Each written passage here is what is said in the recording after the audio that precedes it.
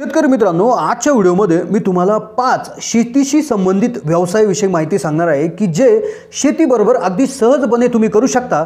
मात्र पाच ते दहा हजार रुपयाच्या खर्चात याला चालू करून महिना पाच ते सात लाख रुपये अगदी सहजपणे कमवू शकता. मित्रांनो या व्यवसायाची भरपूर वैशिष्ट्ये आहेत. जसं की सरकारमार्फत या व्यवसायांना नव्वद टक्केपर्यंत अनुदान मिळतं.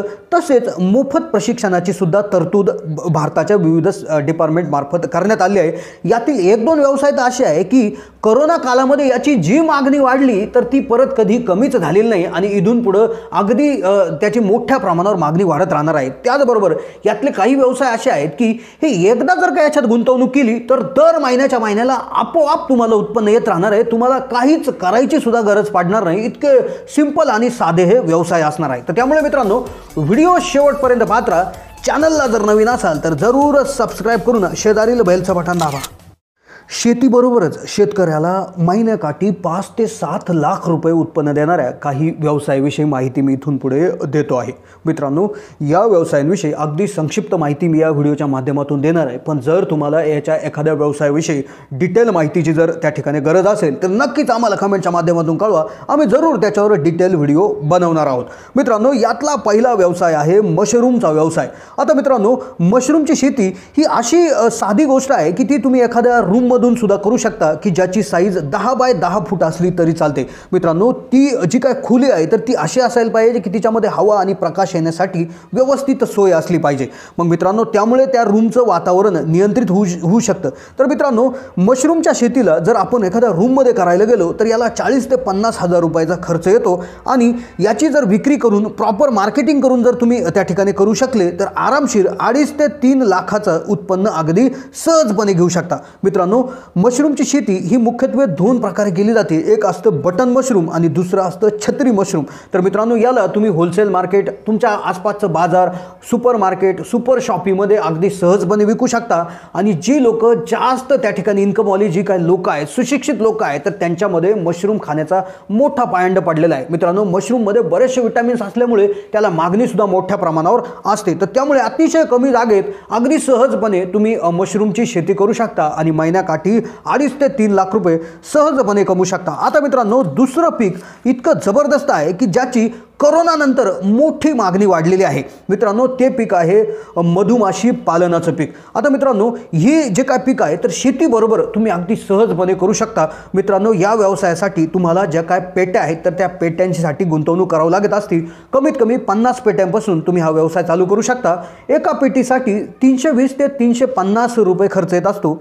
तर या पन्नास पेट्यांसाठी तुम्हाला जवळपास दीड ते दोन लाखाचा खर्च येत असतो. मित्रांनो या दीड ते दोन लाखाच्या खर्चानंतर तुम्हाला लाईफ टाईम या पेट्या त्या ठिकाणी चालणार आहे आणि एका बॉक्समधनं चाळीस किलो तुम्हाला मध त्या ठिकाणी मिळत असतो. तर पन्नास बॉक्सचा जर आपण हिशोब केला आणि जवळपास दोन हजार किलो म्हणजे दोन टन तुम्हाला मध याच्यामध्ये भेटणार आहे. आणि तीनशे पन्नास रुपये इतका आपण कमीत कमी जरी भाव पकडला तरी सात लाख रुपये इतकं उत्पन्न तुम्हाला मधुमाशी पालनामधून येऊ शकतं. आता मित्रांनो मधुमाशी पालनामध्ये एक आता अशी जबरदस्त संकल्पना आली आहे की जे काय मधुमाशीचं पोळं असतं तर त्या पोळाचं सुद्धा त्याच्या टॅबलेट्स लोक खाण्याचा ओढा वाढलेला आहे. त्याचे जबरदस्त फायदे आता संशोधनात निदर्शनास आले आहे तर मधापेक्षाही तुम्हाला जे काय त्यांचं पोळं आहे तर त्या पोळ्याच्या जे काय विक्री करून मधापेक्षाही कदाचित जास्त पैसे इथून पुढे तुम्हाला भेटायला लागणार आहेत. यातली दुसरी उत्पन्नाची गोष्ट अशी असते की तुम्ही मधुमाशेचं सुद्धा विक्री करू शकता. आता मित्रांनो यातला तिसरा प्रकल्प जो की सेंद्रिय शेतीमुळे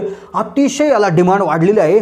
मित्रांनो हे ही जी काय व्यवसाय असा आहे की याची मागणी आजपर्यंत इतकी आहे की कधी तितकं उत्पादनच आजपर्यंत झालं नाही. त्याच्यामुळे याचा भाव कमी होण्याचा प्रश्नच येत नाही. तुम्हाला मार्केटिंग सुद्धा करायची गरज नाही. अगदी घरी येऊन लोक घेऊन जातात. तर तो व्यवसाय आहे गांडूळ खताचा व्यवसाय. आता मित्रांनो गांडूळ खत जसं तुम्हाला माहिती आहे गांडूळ असा प्राणी आहे की ती शेण किंवा इतर जे काय आपलं वेस्टेज आहे म्हणजे शेतीचं जे काय वेस्टेज असतं पालापाचोळा भाजीपाल्याचं वेस्टेज तर त्याचं खाऊन ते खतामध्ये रूपांतर करत असतं आणि ज्याचा सेंद्रिय शेतीसाठी मोठी मागणी असते.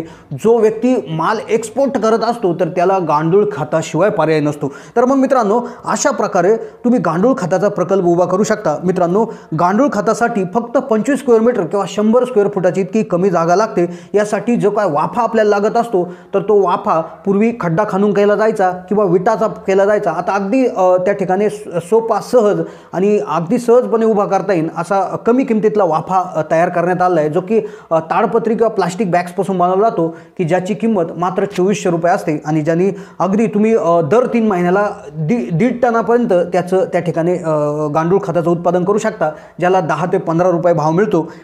आणि वर्षाकाठी तुम्ही सहजपणे बारा ते पंधरा लाख रुपये अगदी सहजपणे गांडूळ खताच्या व्यवसायामधनं कमवू शकता. आता यानंतर मित्रांनो असा एक व्यवसाय आहे की ज्याची मागणी करोना काळात तर सगळ्यात जास्त होती. शरीरामध्ये ऑक्सिजनचं प्रमाण वाढवणं याच्यासाठी याच्या टॅबलेट्स लोकांमध्ये घेण्याचा ट्रेंड आता आलेला आहे. याची पावडरसुद्धा लोक बऱ्याच याच्यामध्ये मिक्स करून घेतात. तर तो म्हणजे तुळशीची शेती. आता मित्रांनो तुळशी आपल्याकडे धार्मिक महत्त्व आहे. आपल्या घरासमोर ही तुळशीचं झाड असतं.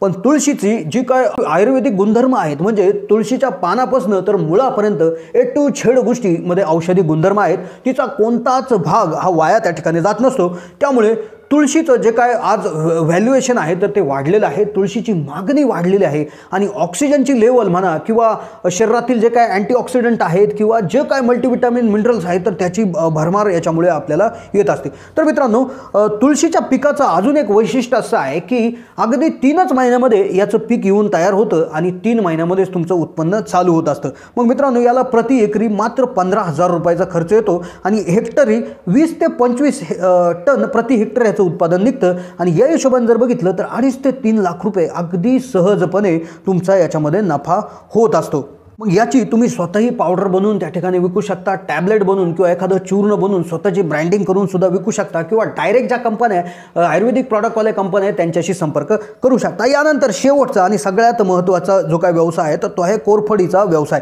आता मित्रांनो कोरफड जसं तुम्हाला माहिती आहे की बऱ्याचशा सौंदर्य प्रसाधने औषधे खाद्यपेय बऱ्याचशा औषधांमध्ये मेडिकल याच्यामध्ये सुद्धा म्हणजे या कोरफडीचा समावेश केलेला असतो. त्यामुळे कोरफडीची डिमांड ही मोठे मोठी असते.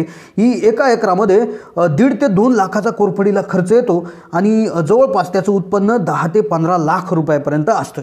मग मित्रांनो तुम्ही कोरफडीचं एखादं पेय बनवू शकता किंवा एखादं जे काय सौंदर्य प्रसाधन आहे किंवा बऱ्याचशा क्रीम आहे तर असं काहीतरी बनवून स्वतःचं ब्रँड तयार करून सुद्धा तुम्ही कोरफडीचं त्या ठिकाणी सहजपणे विकू शकता आणि अगदी आरामशीर तुम्ही याच्यामधनं मोठी कमाई करू शकता. तर मित्रांनो जरूर जर तुम्हाला याविषयी कोणत्याही एखाद्या पिकाविषयी माहिती जर डिटेल लागत असेल तर जरूर आम्हाला कमेंटच्या माध्यमातून कळवा.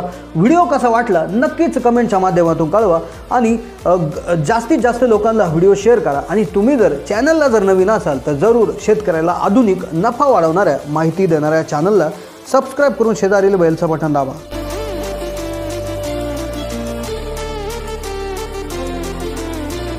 माहिती देणाऱ्या चॅनलला सबस्क्राईब करून शेजारील बेलचं बटन दाबा.